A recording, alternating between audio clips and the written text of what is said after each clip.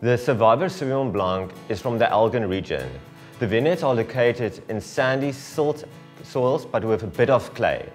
So during the harvest, we give a little bit of irrigation just to provide the vines with necessary water for the ripening process. During the harvest, we do picking twice. So we pick the grapes like at a lower degree Balling. That means a little bit unripe, giving you more greener flavor profiles. And then later during the season, we picked it ripe, giving a more tropical aspect.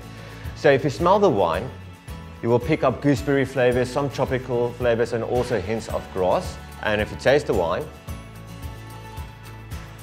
getting a lovely crisp acidity and also some minerality on the palate.